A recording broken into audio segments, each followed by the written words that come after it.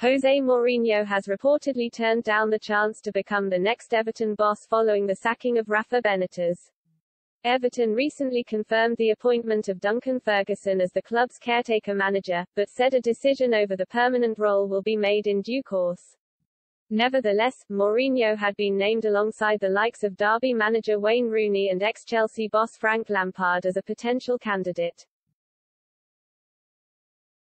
According to Sky Sports, Everton have not yet made contact with Mourinho's current club Roma but plan to.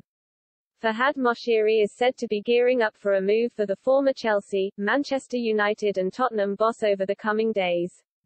However, Mourinho is said to be happy in Italy and remains committed to Serie A side Roma.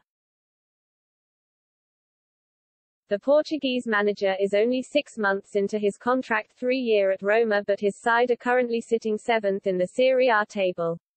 As a result, Roma's hopes of making the Champions League are starting to fade and fingers are being pointed at Mourinho. Nevertheless, Mourinho is eager to prove his doubters wrong and catch fifth-place Juventus and sixth-place Fiorentina.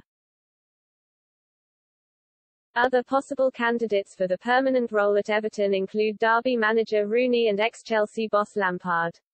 Everton Academy product Rooney, who had two spells playing for the club either side of 13 seasons with Manchester United, has been in charge at Derby for just over a year.